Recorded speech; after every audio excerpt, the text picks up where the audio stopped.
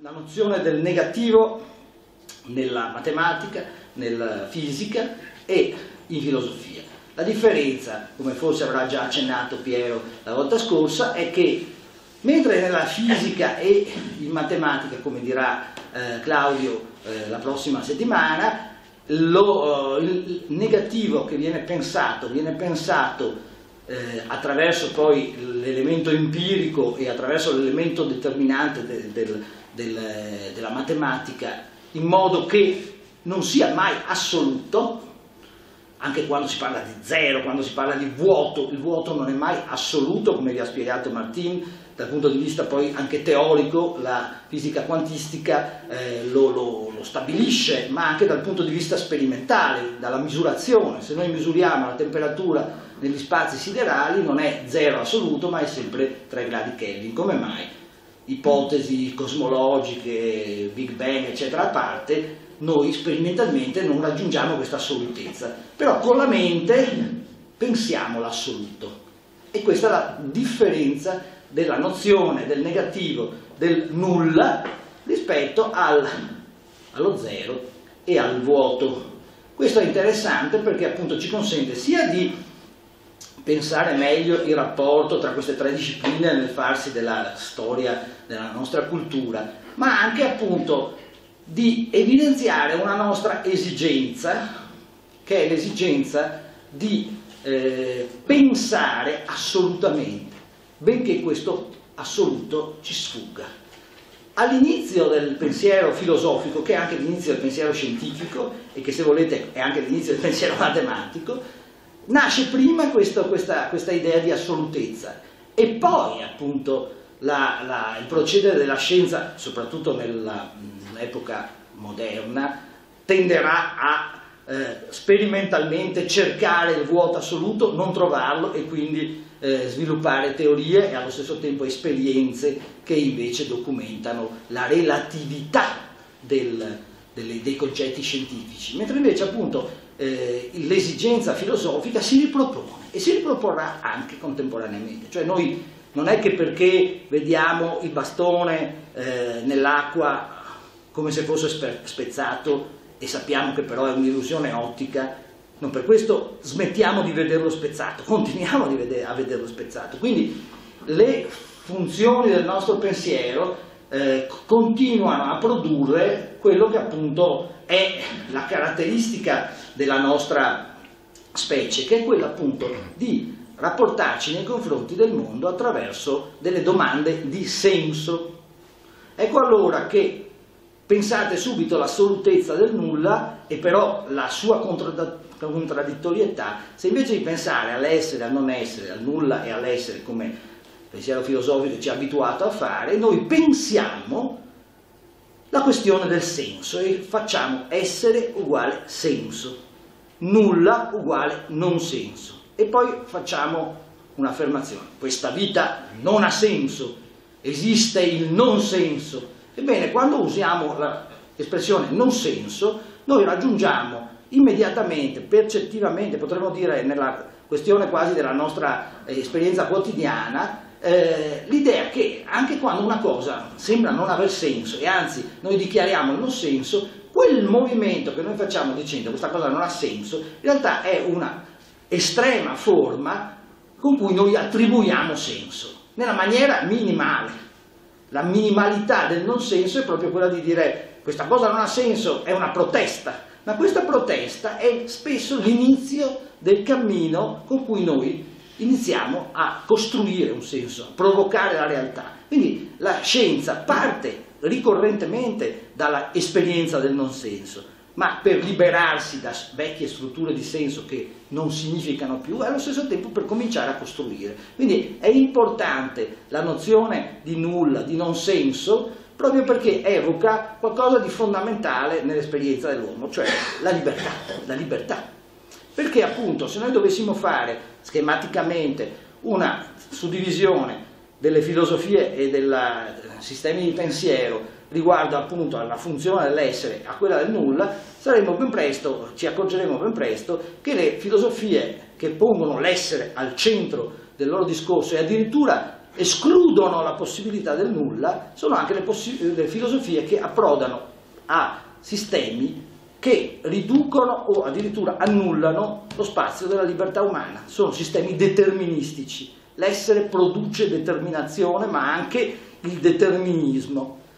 Il nulla, che spesso si maschera sotto il gioco del caso, per esempio eh, i sistemi atomistici già nell'antichità, penso a filosofi come Democrito e Epicuro, che ammettono appunto delle pluralità l'essere è composto da, appunto da, eh, da, una pluralità, una molteplicità, non è riducibile a un'unità eh, e questa pluralità è in movimento caotico, eh, il clinamena per esempio eh, epicurei, che appunto eh, sono il caso, cioè una, una, declinazione del caso, i flussi potremmo dire non diversamente determinabili, ebbene questo caso è anche lo spazio che produce dei margini di indeterminatezza per l'azione umana.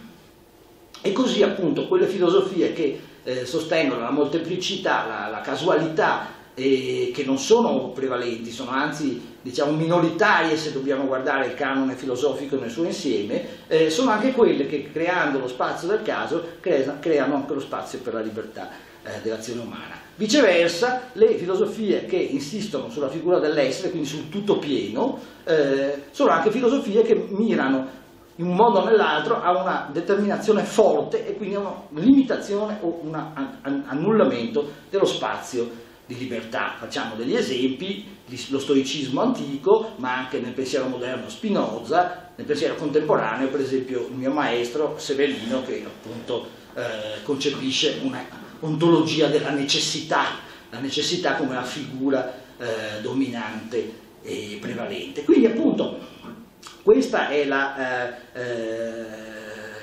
circoscrizione del nulla, ma il nulla appunto eh, connesso con la figura del senso e del non senso eh, è importante perché appunto come abbiamo cercato di dimostrare in forma diciamo, divulgativa con questo volume, ma come in realtà credo che sia opportuno, la, anche la, il discorso scientifico può utilmente rinunciare a una eccessiva astrattezza e formalizzazione e trarre un giovamento da quell'altra forma che era chiusa da, nella parola contare, c'è anche l'avviso di quell'altra parola che dice raccontare, no? Insomma, e quindi nell'aspetto potremmo dire di, di, di narrativo eh, raccontare la matematica, dice questa collana, e eh, quale miglior modo di raccontare qualsiasi storia che cominciare da zero, no? cominciare quindi dal, dall'inizio, e l'inizio e la fine sono in una storia, eh, potremmo dire, le cose che più si avvicinano allo zero, al nulla, al vuoto, perché si inizia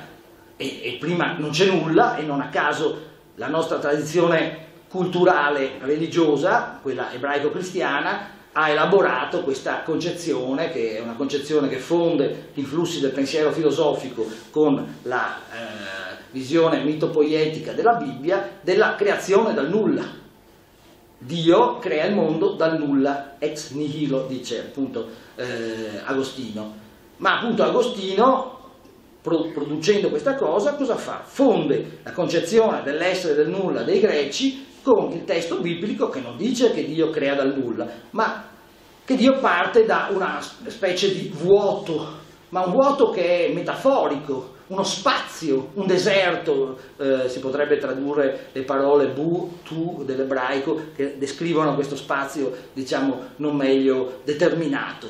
È appunto eh, con la fusione tra il discorso mitico della Bibbia e il discorso filosofico che si produce l'idea della creazione dal nulla, che pensate rappresenta un paradosso, perché se io creo dal nulla, cosa c'era prima che Dio creasse il nulla? E Agostino risponde, eh, cosa faceva Dio prima di creare il mondo? E Agostino risponde, stava pensando come punire coloro che fanno questa domanda. E appunto è, è una eh, risposta tipicamente, non so, anche un po' pretesca, diciamo così, eh, che però è efficace. Efficace perché spiega appunto il gioco del paradosso. Quel paradosso che noi troviamo nella parola eh, nulla nel momento in cui, come tutti voi eh, senza dubbio potete sperimentare, dice, eh, dite nulla E beh, nulla è o non è? Beh, nulla è, nel senso che quando io dico nulla eh, ho detto qualcosa o ho detto niente. E anche il fatto che ci siano le lingue come l'italiano, il francese, altre lingue che distinguono il nulla da niente come appunto aggettivazione, eh, ci dice eh, che il linguaggio ha questa strana cosa, che nel momento in cui parla del nulla non può che parlare di qualcosa. E da, da qui infiniti paradossi, no? su cui già la filosofia antica giocava. Il primo pensatore del pensiero occidentale, del canone occidentale, che non è ancora un filosofo, anche se voi lo studiate come filosofo, che è Parmenide, Parmenide non è un filosofo, il primo filosofo della storia della filosofia, cioè la filosofia nasce con Platone e nasce appunto con la costruzione di un'opera molto bella, artistica, letteraria, che Platone voleva fare il teatrante, poi non aveva la voce, era aneufonè senza voce, dicono i dossografi, e quindi a un certo punto eh, si dà a questa nuova disciplina ascoltando uno strano sofista che parlava in piazza e che lo affascina come il canto del cigno, no? Insomma, ed è Socrate. Allora cosa fa Platone? Platone prende Socrate, che non è neanche lui già un filosofo, ma è appunto un sofista di questi strani sapienti, sofisti, sofisti di, deriva da sophos, sofistes, quindi coloro che sanno, ecco, e, e lo um, inserisce come personaggio centrale di una specie di eh, decameron filosofico di storie e di incontri che avvengono nella polis greca e che di volta in volta raccontano il rapporto di questa strana figura che si sta costruendo, che è il filosofo, nei confronti dei saperi tradizionali della città. Sono saperi appunto eh, delle tecniche, saperi eh, tradizionali religiosi, e, diciamo, eh, il teatro, il rapsodo, quindi il poeta, eccetera. Ci sono queste, questi incontri, il generale dell'esercito.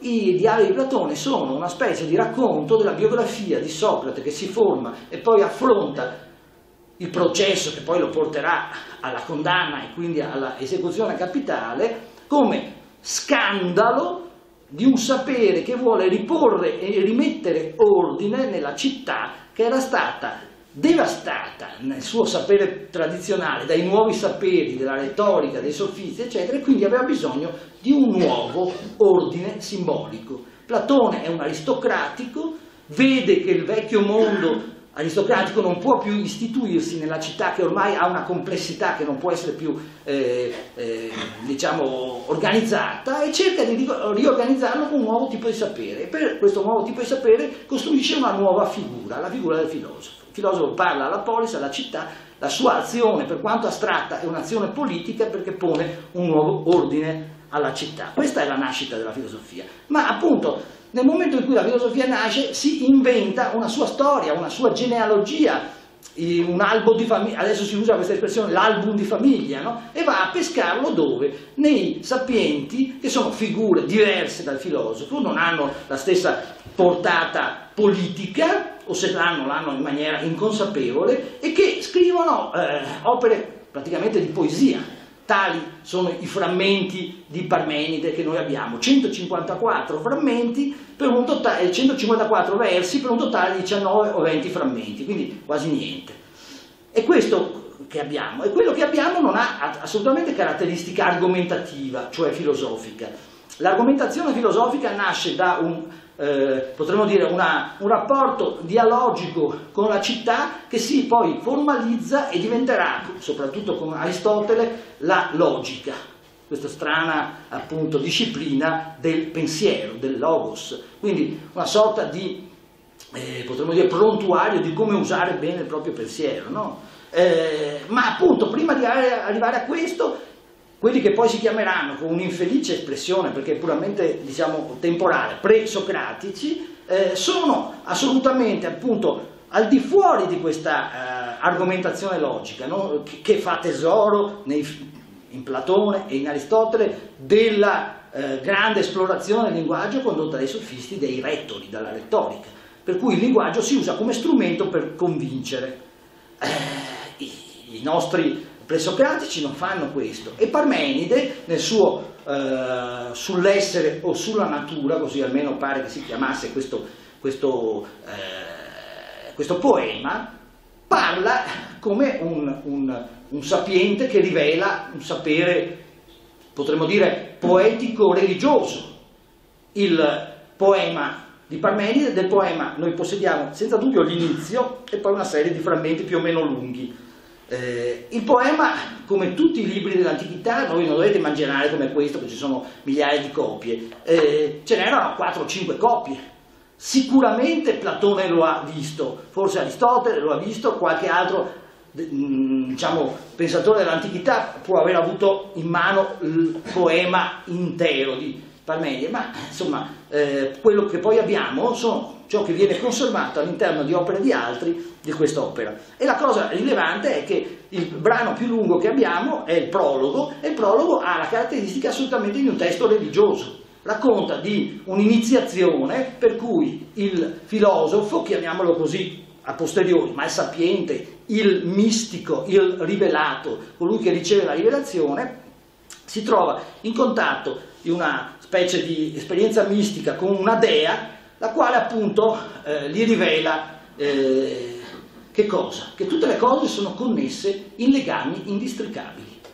Tutto è peras, tutto è peiras, tutto è legame.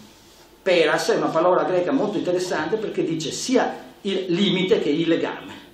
Ora, che tutto sia legato ci riporta un'immagine tipica, la dea mediterranea, la dea mediterranea del matriarcato pre-indoeuropeo, che era la garante dei legami era appunto garante dei legami, ma che non componeva lei.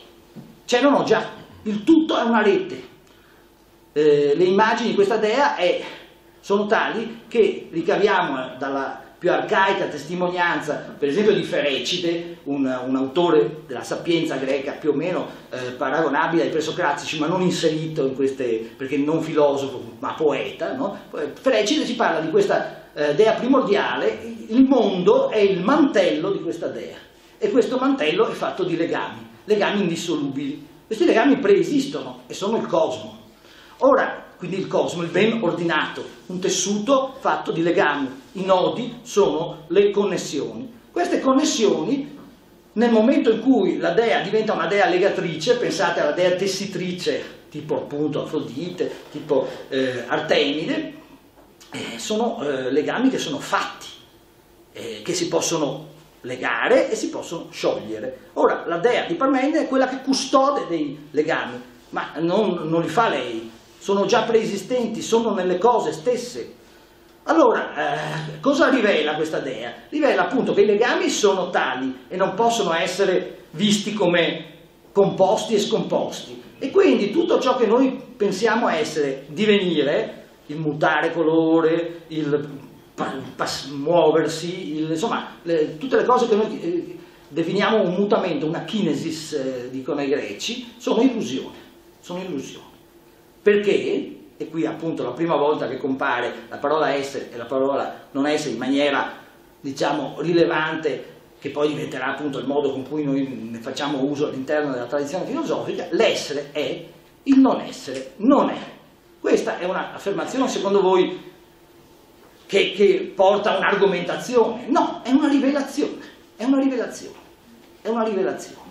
Quindi eh, non, non siamo di fronte a un pensatore, a un filosofo che argomenta, siamo di fronte a un saggio, a un sapiente, infatti come tale Parmenide verrà presentato, venerabile, terribile, che fornisce una rivelazione e induce i suoi seguaci che dovete paragonare a quello che parallelamente succede sempre nell'Italia meridionale, avverrà di lì a poco in quegli anni eh, e un po' prima con i pitagorici, eh, quindi abbiamo a che fare con un maestro di verità che dice appunto una verità fondamentale, cioè che c'è un positivo assoluto e un negativo assoluto che si contrappongono e che quindi noi non dobbiamo cadere nell'illusione, perché appunto in realtà davanti a ogni uomo per i greci, si presenta una, la lettera filosofica fondamentale. Qual è la lettera filosofica fondamentale per i greci? È la Y maiuscola, no? Avete presente la Y? Eh, nel, nel, negli alfabeti diciamo, moderni, no? La Y è esattamente un trivio, perché non è un bivio, come erroneamente si dice, no? Cioè si va a destra e a sinistra, è un trivio perché tu vieni da una strada, puoi andare a destra, puoi andare a sinistra, quindi sono tre strade. I greci nel trivio mettevano, facevano i sacrifici alla dea della morte. Eh, quando arriva al bivio il mistico Parmenideo deve scegliere se scoprire il senso dell'essere che è completamente opposto a qualsiasi forma di negativo e quindi alla luce di questa luminosità che gli si rivela interpretare tutte le variazioni che accadono nel mondo come illusioni, come gioco dei nomi, onomata, eh, dice Parmenide. Quindi il bivio dice che c'è una eh, un percorso, quello del non essere, che non è praticabile, perché appunto che le cose non siano, è impossibile, perché se l'essere è, nulla può essere, nulla, quindi il negativo non c'è. Quindi ci possono essere solo due momenti, il momento prima della rivelazione del mortale, il brotos, il mortale, che è appunto colui che ancora sta nella, nella penombra, eh, dove ci sono illusioni, dove le cose sembrano essere e non essere insieme, vanno e vengono, eccetera. Quindi eh, dove c'è appunto una oscillazione di tutte le cose in cui noi siamo nell'angoscia, come mortali, e poi invece appunto al di là del bivio, che è il bivio che ciascuno di noi affronta nel momento in cui appunto eh, viene sottoposto all'incertezza e alla, diciamo, eh, all'angoscia del dover scegliere, no? Ecco, c'è la rivelazione quindi la stabilizzazione dell'essere. Dobbiamo immaginare che i seguaci di Parmenide fossero come una setta tipo i pitagorici, che tendeva a purificare la propria vita da tutti gli elementi perturbativi che inducevano appunto a questa oscillazione per tendere sostanzialmente alla stabilità, a una isotatos bios, una vita, la vita più uguale. Come eh, pensate a, a, certe forme di, di saggezza orientale, no?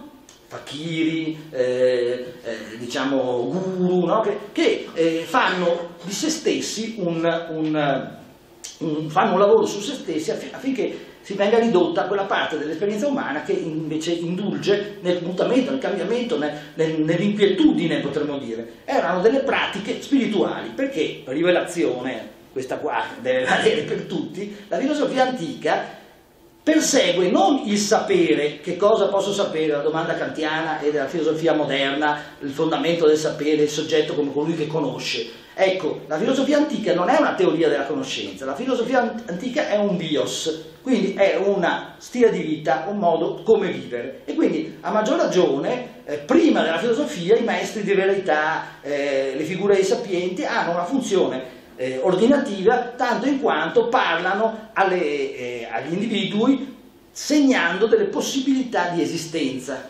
orientando la loro vita. Quindi la filosofia antica risponde alla domanda come posso vivere per essere felice. La filosofia moderna risponde alla domanda che cosa posso sapere. Quindi si passa a una teoria della conoscenza. Se siamo di fronte a questa differenza dovete valorizzarla questa differenza. Questa differenza non è valorizzata nel momento in cui noi pensiamo che la filosofia antica abbia come campioni principali appunto eh, Platone, Aristotele e alcuni metafisici e non sia invece, come è stata in realtà, per buona parte della sua quasi più di mille anni di storia, eh, un'espressione di uno stile di vita, un'espressione di uno stile di vita, perché appunto eh, gli epicurei, gli stoici, i, mm, gli scettici, cioè tutte queste eh, filosofie sono scuole che accolgono al loro interno le persone tanto in quanto esse vogliono fare un percorso di vita che certo presuppone anche degli elementi conoscitivi, ma che ha come fine il raggiungimento di una forma di vita. Questa forma di vita avrà come suo antagonista e competitore il cristianesimo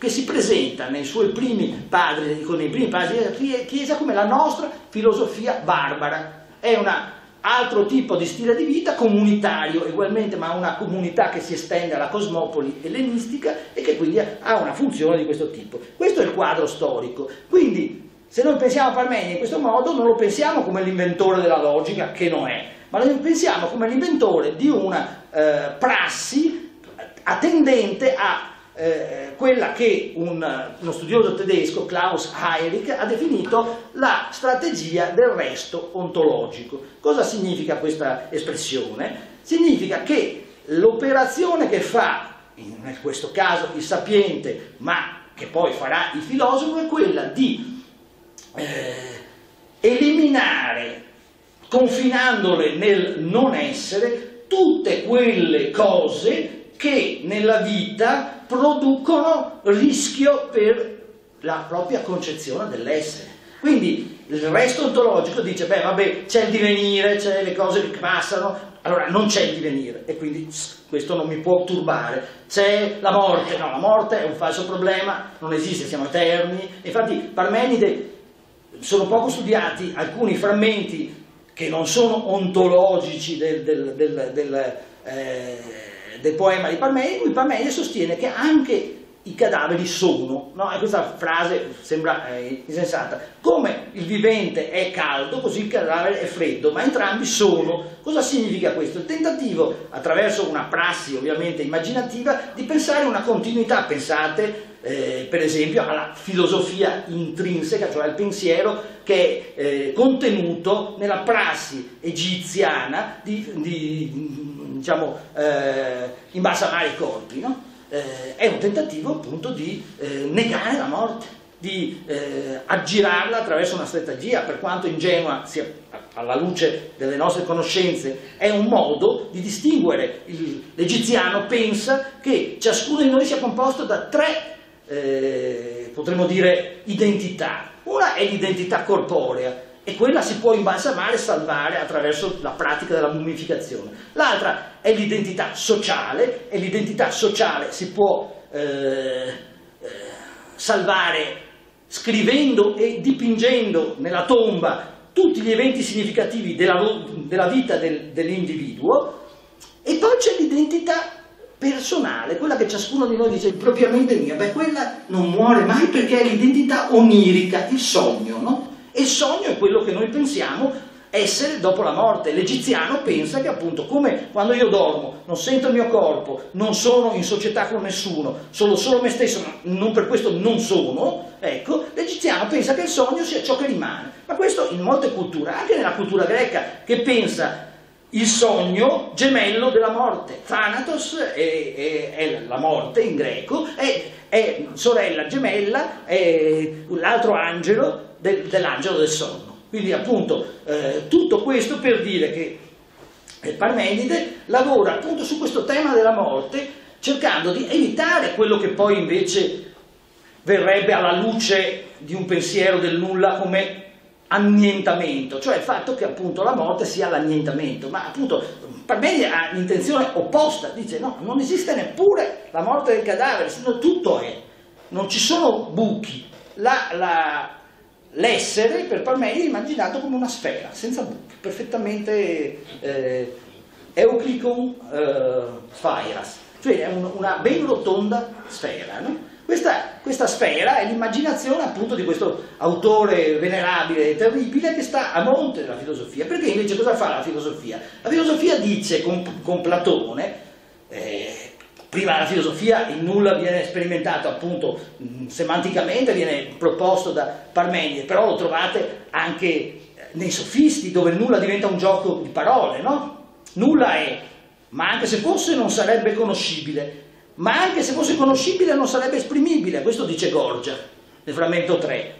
E, e Gorgia eh, pa, fa la parodia di Parmenide, no? Il sofista Gorgia dice eh, Parmenide ha scritto il non essere sulla natura, l'essere è sulla natura, io scrivo il non essere, no? un, un, poema che è quello perduto, quindi eh, stiamo sempre parlando di congetture, no? che però sono bas basate su come la eh, filosofia ha letto e, e e, e, diciamo sviluppato la continuità appunto del, del, di questa tradizione. Quindi Cosa fa la filosofia con Platone? E poi lì il problema del nulla diventa un problema logico e quindi diventerà quel gioco che ritornerà nel canone filosofico ripetutamente. La, la filosofia con eh, Platone dice l'uso assoluto del nulla, assoluto vuol dire sciolto, è eh, esattamente la dimostrazione del fallimento del pensiero, perché il pensiero è sempre connessione. Quando noi pensiamo, noi pensiamo sempre a una relazione. Pensare è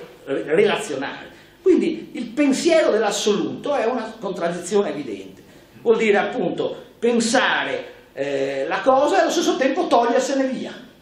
Questa immagine che trovate in Platone la trovate anche in Bergson nel Novecento, nell'Evoluzione creatrice, laddove Bergson nel 1907 eh, dedica l'ultima parte dell'Evoluzione creatrice che è, che è un capolavoro della filosofia novecentesca proprio alla questione del nulla. E lui dice, in realtà il nulla è un movimento del pensiero in cui noi prima riempiamo il tutto, no? tutte le cose, e poi le togliamo. Quindi l'idea di nulla è l'idea che è una specie di, di idea eh, racchiusa nell'idea di totalità. Quando noi pensiamo a tutte le cose, pensate, no? Tutte le cose, è irrappresentabile questa idea che abbiamo, no? È un'idea mistica, che può essere benissimo paragonata al nulla di tutte le cose, perché nel momento in cui la pensiamo, allo stesso tempo ci, ci viene meno, perché si svuota e diventa una specie di contenitore. Tutte le cose diventano appunto il contenitore di tutte le cose. Solo se io penso il negativo, penso la totalità del positivo. E diceva, ehm, questo succede, diceva eh, Bergson, sia nel... Eh, potremmo dire, eh, questo succede sia nell'esperienza, nell nell per cui noi in realtà, io non vedo mai il nulla di questo libro, se lo tolgo vedo un'altra cosa al posto del libro, magari appunto il tavolo, solo che appunto la, la, la persistenza quello che lui chiama il movimento retrogrado del vero, fa sì che noi vediamo una specie di vuoto dove c'è sempl semplicemente una successione A di cose, B di stati di coscienza, dice lui. Quindi di fatto il nulla assoluto è un falso problema, ma già Platone all'inizio della tradizione filosofica risolve la questione del nulla dicendo nel sofista, che è uno dei dialoghi più complessi, la cui questione centrale non è l'essere e il non essere. Nel sofista, come lo dice il titolo, la questione è il sofista. E i sofisti sono quelli che usano il linguaggio a sproposito, diciamo, per sedurre, senza una relazione, ma fin tanto che noi pensiamo che il linguaggio sia sottoposto a una concezione assoluta dell'essere, dobbiamo eh, andare o con Parmenide che dice che il linguaggio è una sorta di illusione che noi dobbiamo contingentare, quindi parlare setta di silenziosi erano i Parmenidei, no? parlavano poco e usavano solo i nomi perché dicevano appunto eh, parete, parete non è che può essere va e non va, parete è evocata ed è immediatamente tavolo, eccetera. Immaginate una lingua fatta solo di nomi. Aristotele e Platone direbbero, dall'interno della filosofia, una lingua fatta di soli nomi non può formulare giudizi, quindi non è una lingua, perché la lingua è la connessione di un predicato con un nome, di un verbo e un nome è la relazione che è la lingua. Per dire questo bisogna uscire dall'antagonismo tra appunto i, i sapienti alla Parmenide e i sapienti alla Gorgia, i sofisti, che invece dicono, beh, il linguaggio è questa sfera di grande dell'illusionista, però è questa è la nostra sfera, la sfera della città, la sfera con cui facciamo gli affari, con cui i commercianti ingannano e fanno, con cui i commercianti di parole che noi siamo riusciamo a convincere o no le persone. Quindi nella superficie conta che cosa? La persuasione, conta, dice Gorgia, la parola potente signora che, che seduce, no? Che sedu che, e questa seduzione della parola fa sì che appunto eh, tutte le cose siano, e anche le parole che le dicono, e quindi non ci sia l'errore, perché anche l'errore è, oppure viceversa, non esiste nulla, ma quindi non esiste neanche l'errore. E quindi di via di paradosso i sofisti riuscivano a scappare e a sfuggire nella penombra, dice,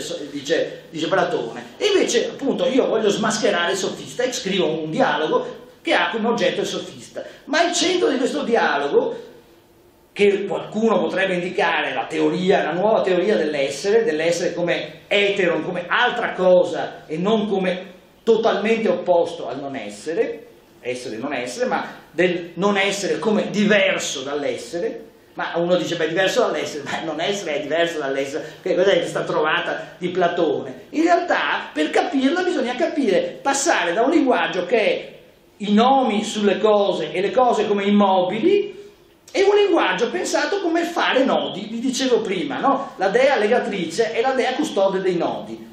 Ma come sono fatti questi nodi? Questi nodi sono il linguaggio. E allora è il linguaggio, termine greco è simploché, il nodo che connette le parole e le cose. È lì che si decide se una cosa è vera e se una cosa è falsa. Allora cos'è l'essere e cosa sono l'essere e il nulla? Non sono più la posizione fondamentale dell'essere tutto pieno e, e del non essere tutto vuoto, ma sono potremmo dire, quei, quelle lacune, quelle smagliature, quei buchi che si vengono a creare tra le parole e le cose. Questa è l'eteron. Allora cosa succede nel sofista, che ho da qualche parte dentro la borsa? Eh, nel sofista, questo dialogo, uno dei più importanti di Platone, succede che Platone fa una cosa che è la cosa più importante di quel dialogo e che è anche la cosa più importante per la nostra cultura formula la teoria dell'immagine. Che cos'è un'immagine? Che cos'è un'immagine? Perché il linguaggio è immagine delle cose. E quindi l'essere e il non essere si giocano nella capacità del linguaggio di rispecchiarle o non rispecchiarle. Quindi non ha ragione Parmenide o chi come qualcuno che si ispirasse a Parmenide, ma povero Parmenide era semplicemente un maestro di verità che diceva le sue cose per creare una, una, una setta di persone felici che non si facessero tormentare dalla paura della morte, dalle cose eccetera.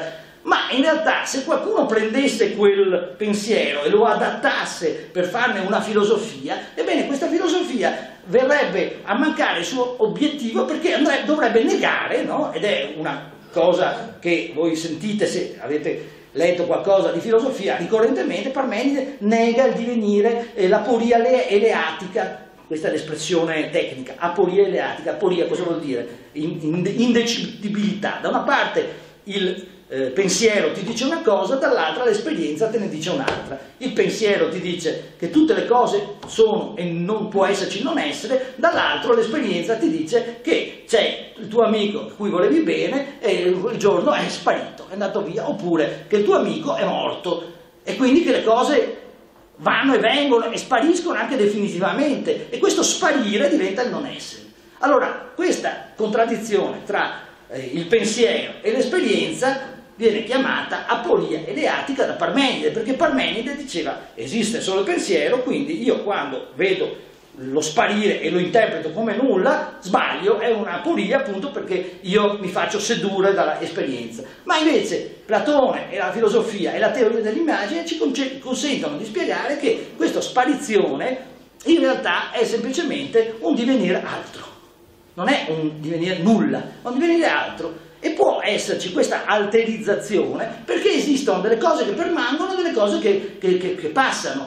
C'è un soggetto, per esempio io vado a Venezia e non sono più qua. Allora cosa succede? Succede che da essere qua andare a Venezia cambia il predicato ma rimane il soggetto, quindi ci sono permanenze e differenze. Quindi il non essere non è mai un non essere assoluto ma è un non essere relativo e quindi è un eteron, un essere altro rispetto all'essere, un essere diversamente, ecco diremo con una traduzione che forse è migliore, l'essere diversamente. Questa cosa può avvenire perché il linguaggio è l'emissione sonora del logos, il quale a sua volta è l'immagine del pensiero, cioè il linguaggio è immagine del pensiero. E questa connessione dell'immagine è importante perché l'immagine non è più quella arcaica dell'eidolon, i greci appunto chiamano eidolon immaginetta, il simulacro che si mette per esempio sulla tomba e che non era simile al morto, cioè una statua, cosa, ma era proprio come il menhir, no? una cosa che si metteva sulla tomba. Ora, l'eidolon sta al posto di, ma non è somigliante, è un'assoluta dissimiglianza. L'eidolon appunto però eh, evoca che ci sia un rapporto tra l'immagine e la coppia eh, l'originale e la coppia, diciamo così, che è un rapporto di eh, derivazione eh, automatica, come succede nelle immagini della natura. Noi quando andiamo eh, in un bosco, c'è un ruscello, ci guardiamo e vediamo la nostra immagine riflessa.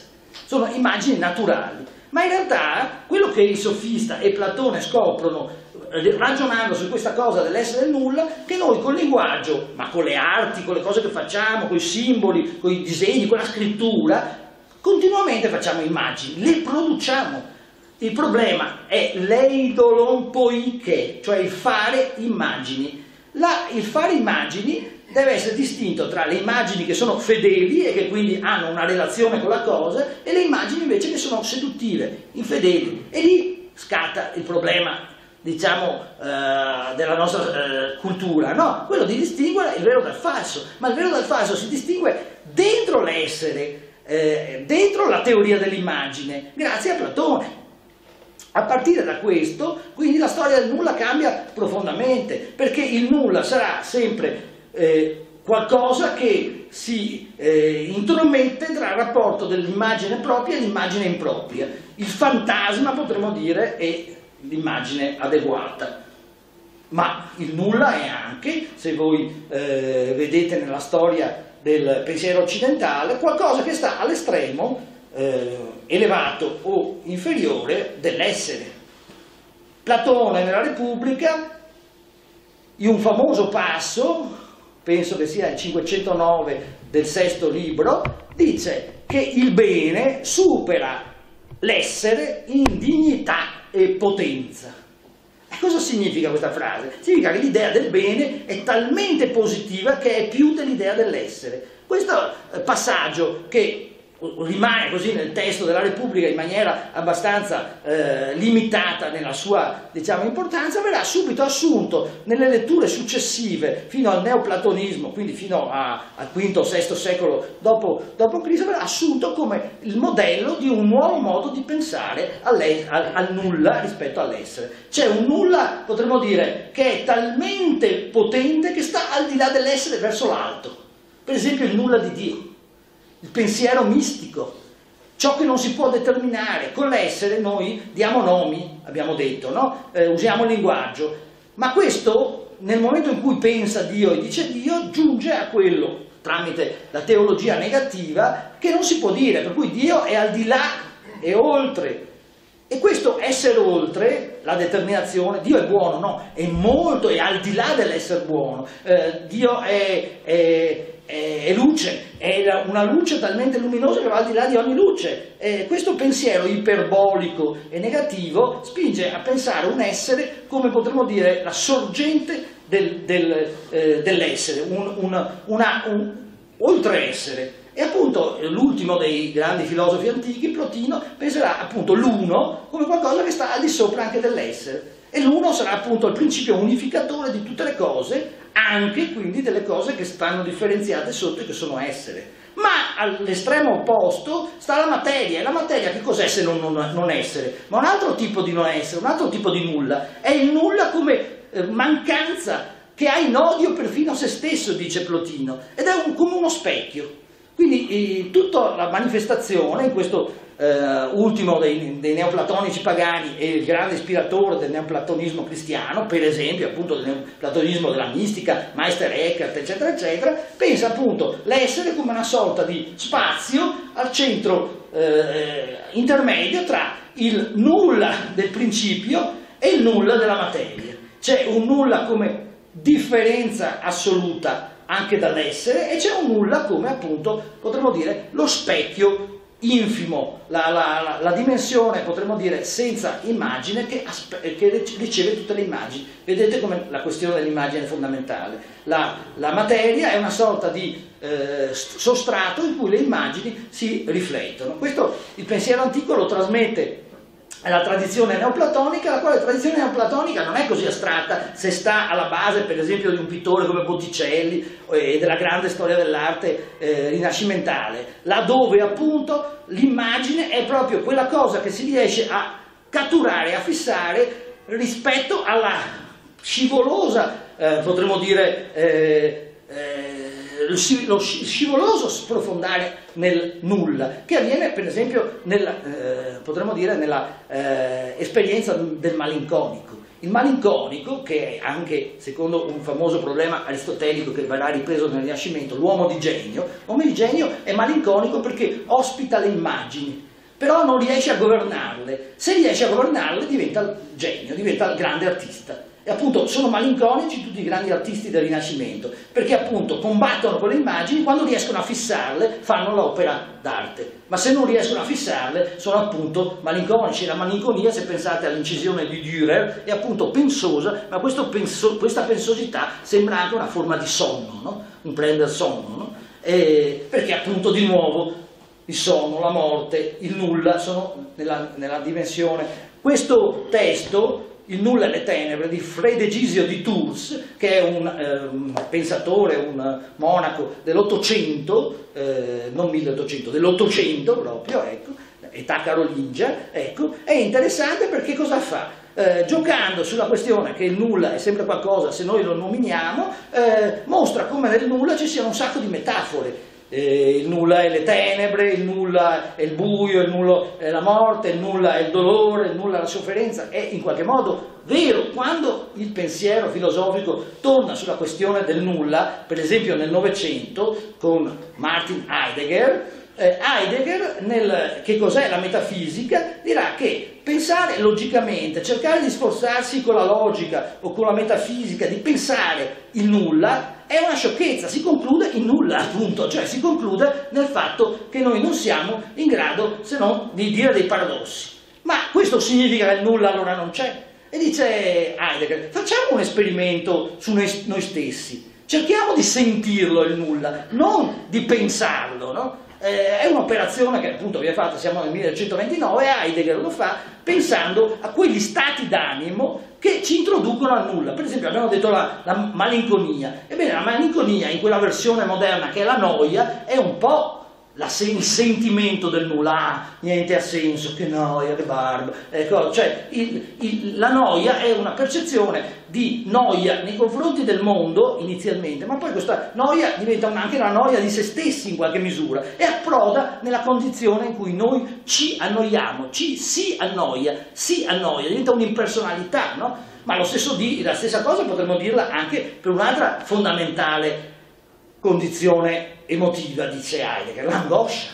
Quando noi proviamo angoscia, per esempio l'angoscia della morte, ma anche l'angoscia per il dolore, ma l'angoscia che cos'è se non una paura senza oggetto? Ecco che sentiamo il nulla, perché appunto questo oggetto non c'è. Infatti quando abbiamo un'angoscia, è una crisi di panico, ho angoscia, eccetera, a un certo punto improvvisamente mi passa, uno ti domanda, ma cosa c'era, cos'era? E tu rispondi niente, niente. Perché appunto l'angoscia è causata da qualcosa che non riusciamo a definire, ma che sentiamo. E allora dice Heidegger, non dobbiamo pensare logicamente il nulla, non dobbiamo eh, cercare di agganciare il nulla all'essere metafisico dell'antica metafisica classica dei greci, ma dobbiamo invece sentire il nulla. E senza dubbio il sentimento del nulla è qualcosa che appartiene alla dimensione umana, soprattutto quando nell'angoscia noi siamo messi di fronte alla scelta vado di qua o vado di là, prendo questa cosa o prendo quell'altra. Lì nessuno mi risponde, nessuno mi dice, però io sento che sono eh, esposto, eh, gettato, come dice Heidegger, sono gettato in una situazione che non ha eh, nessuna barriera che mi eh, tiene eh, in piedi e quindi sono una vertigine. Il nulla è appunto questa vertigine della libertà, della scelta. E quindi il pensiero moderno con Heidegger riqualifica il nulla, ma lo riqualifica in via esistenziale. Ecco, mentre la logica, per esempio, è famosa la risposta che tre anni dopo questo libro di, di Heidegger darà a Carnap, Carnap, un logico, dirà, beh, insomma, il nulla è, è quello che si, dice, che si, diceva, cioè il significato nulla, il significato nulla è eh, un, una espressione sonora contraddittoria. Eh, quindi insomma il nulla è semplicemente eh, localizzabile come aggettivo, fuori non c'è nulla, non significa che fuori c'è il nulla, ma significa che fuori non c'è nulla, non c'è nulla di cui che tu chiedi, eh, c'è quella persona, no, non c'è nessuno. No, eh, cosa vuol dire? Che allora c'è nessuno, come nel, in Lewis Carroll, nel, nel, eh, in Alice e in altri in cui appunto questo giochetto viene riproposto, appunto il fante eh, bianco dice eh, nessuno è arrivato prima di me, no, dice il re, se eh, appunto nessuno fosse arrivato prima di te tu non saresti arrivato primo, no?